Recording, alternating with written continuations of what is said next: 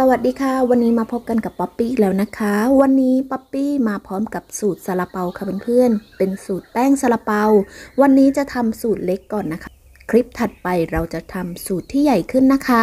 ค่ะก่อนจะไปรับชมขอกำลังใจกดไลค์กดแชร์ กด Subscribe ให้กันด้วยนะคะ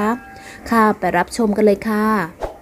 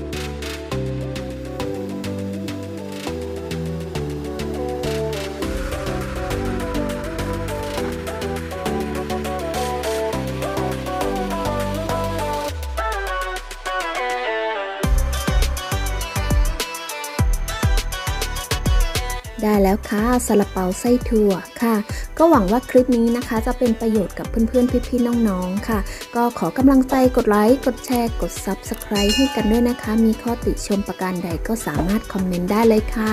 สำหรับวันนี้ก็ขอตัวลาไปก่อนนะคะ สวัสดีค่ะ